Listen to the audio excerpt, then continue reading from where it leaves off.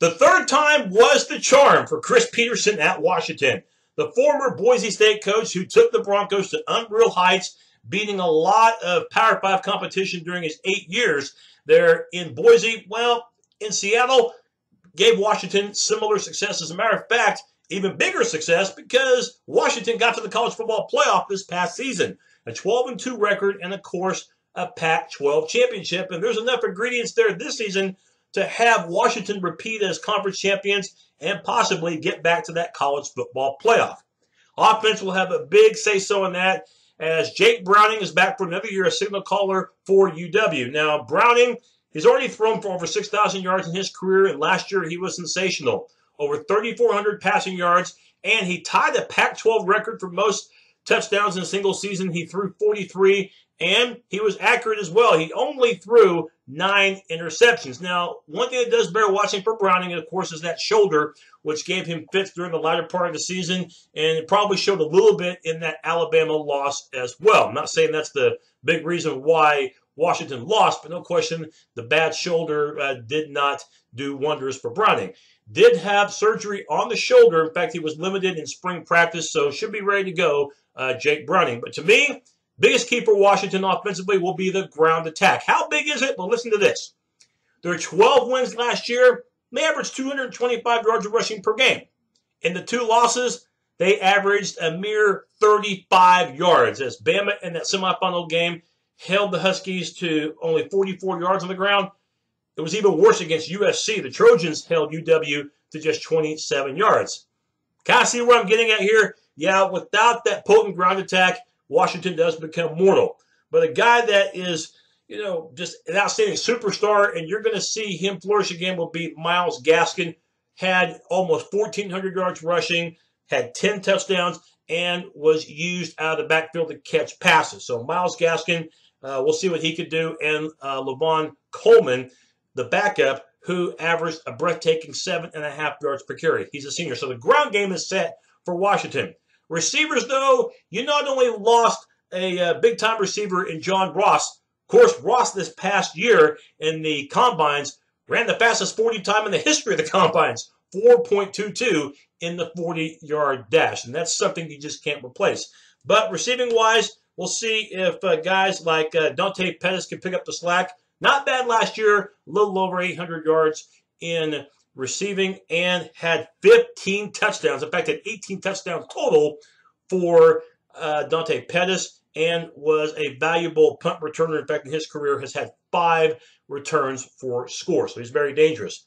Speaking of returning, Chris McClaster. Now, this is a guy that will also handle the kickoff returning duties as a receiver in uh, 2016. He played 13 games, started in three of them.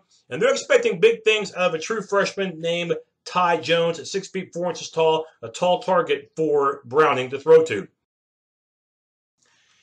In terms of the offensive line for the Huskies, there's a multitude of experience, which I'll talk about in just a little bit. But first, the tight end and Drew Sample, they could use him as a blocker. They could also use him to catch those short passes inside in between the hash marks. He's had 18 total starts in his career, including 11 last season. Drew Sample, a junior. Talking about experience, shoot. I mean, I mean, this guy, he's been around a while. Matter of fact, he was second team All Pac-12 last year. 34 career starts for Coleman Shelton, now entering his senior year. And a junior, Trey Adams, at left tackle. Uh, this guy's had 24 career starts. And at right tackle, Kaleb McGary started every game last year. Kaleb McGary, a junior. So tackles at the center spot, the tight end, you've got a combined 96 starts amongst this foursome. Wow. And we're not even counting a couple of guards who've started a little bit as well. Now, they do lose at guard, though, Jake Eldrenkamp, but you do have a guy by the name of Nick Harris at left guard who played both the left and the right side last year, started a couple of games from both positions. That's four starts last year and five starts for Andrew Kirkland the other guard, the right guard. So a combined 105 starts amongst those six. Hey, you can't coach experience, and Washington has plenty of it on the offensive line. I would expect the offense for Washington to continue to put up the numbers. I mean, with the experience they have on the offensive line, with Browning, that shoulder appearing that it will be fine for 2017. plus that lethal ground attack anchored by Gaskin. You got to figure that Washington again will put up nice numbers. Last year, uh, they put up 42 points per game, which was tops in the Pac 12 and eighth nationwide. Defensively, man, all they did was dominate in 2016. Even the playoff loss to Alabama, the defense didn't do too bad of a job. They held the Crimson Tide to only two offensive touchdowns. That's saying a lot. This was a defense that a year ago only gave up 18 points per game, which was tops in the Pac 12, and it was eighth overall. And they only gave up 316 yards of total offense, 316 per game as far as total yardage, which again was number one in the Pac 12 and 12th in the country. Pretty impressive, and they returned the majority of their starters. Defensive line, this is a team that runs that 3 4 look, and I would expect them again to be very tough to run against. Vita Vea. Now, this guy, Vita Vea, Five sacks a year ago at nose tackle. Also, two had 39 tackles, 340 pounds. He is a huge guy, no question. Defensive tackle Greg Gaines, not to be confused with the alter ego of Garth Brooks, Chris Gaines. We're talking about Greg Gaines, a junior who had three and a half sacks and 35 tackles in 2016, started every game. And at the defensive end spot for the Huskies, Jalen Johnson, Got off to a bit of a rough start. That's because he didn't play the first three games due to injury, but worked his way into the rotation as the season progressed, even started in the playoff game against Alabama. The linebackers, they're really stacked in this area, especially at inside linebacker, Azeem Victor. You know, this guy was absolutely sizzling last year, had 68 tackles, then the unfortunate leg injury early and that loss to Southern Cal didn't play for the rest of the season, but he's back and ready to go along with Keishawn Bierria. Um, Key Bierria had 41 tackles, um, all solo, 68 tackles total. So you bring him back. Outside linebacker returns Connor O'Brien, a senior, who had three sacks and 35 stops. The other linebacker, a bit of an unknown, so we'll see how Amandre Williams does as a redshirt freshman.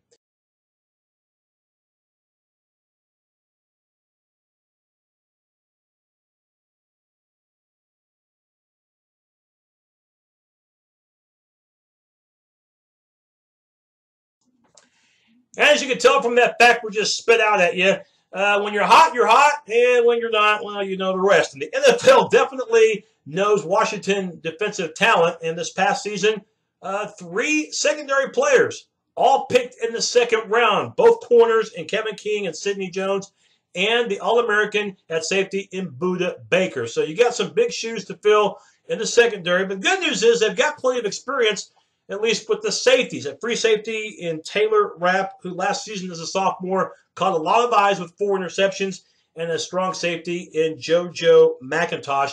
Last year as a sophomore, started every game but one and had 67 tackles. But of course, the corners are maybe the one area of concern. We'll see how Jordan Miller at 6'1 handles one corner. Um, not a starter, but has played in every game these past two years. So that helps. And at the other corner, a guy who has yet to play college football in Byron Murphy, but they expect big things from him. Uh, a guy that redshirted last year. And pretty much that was a right decision by Chris Petersen to redshirt the guy because of how loaded Washington was at that corner position. In terms of the special teams, Tristan Vizcaino, full-time punter a year ago, 41 yards per boot, and looks like you're going to be able to add the title as full-time place kicker as well. Seldom place kick last year, but looks like right now he's going to play both positions. The schedule for Washington, I'm telling you what, they're going to have a pretty damn good shot at going undefeated. First of all, the non-conference schedule is not scary at all. There is the opener, cross-country to Rutgers, but Rutgers is just damn awful. It's that simple to say. Conference opener, it's a rematch of last year's Pac-12 championship game against Colorado. Now, Colorado won't be bad offensively, but defensively they lost nearly everybody, so I would expect the Huskies to win by double digits. Oregon State the following week, but the Beavers, I don't think, are there yet as far as being a quality program. And the schedule, the last seven games, that's right, the last seven, five of them are at Husky Stadium. That includes UCLA in late October. They'll get two weeks to get ready for that. The toughest month looks like it will be November. Three of the final four, though, in Seattle. But not the November 10th game on a Friday night at Stanford. That's going to be the toughest game of the year. The Cardinal, I think, will be pretty good. And they close out the year with Washington State. This is the game that decided last year's Pac 12 North Championship, in which Washington had their way with the Cougars.